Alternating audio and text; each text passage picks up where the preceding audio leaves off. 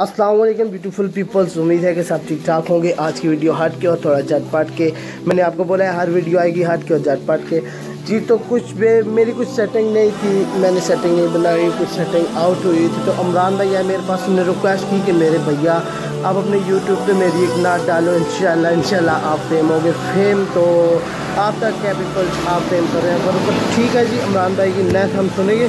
ठीक है तो चलते हैं जी, नात की तरह आपको सुनाते हैं जी, नात। जो इमरान भाई ने हमें सुनाई है और आप भी सुनिए लीजिए हमें बताएँ इमरान भाई की आवाज़ कैसी है। Thank you so much thank you so much